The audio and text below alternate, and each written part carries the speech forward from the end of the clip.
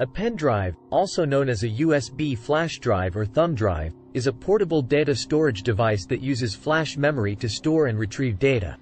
Data is stored in a pen drive using a combination of electrical and software processes.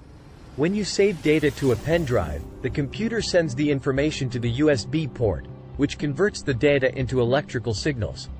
These signals are then sent to the controller chip on the pen drive, which uses software algorithms to encode the data and store it in the flash memory chips. Flash memory is a type of non-volatile memory that retains data even when the power is turned off.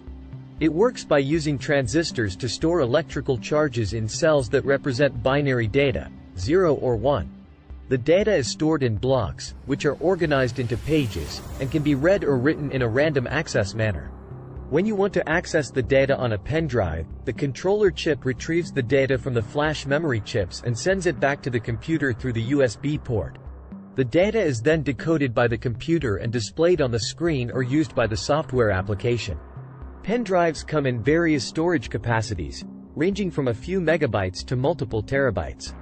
They are popular because they are small, portable, and easy to use, and can store a large amount of data in a compact package.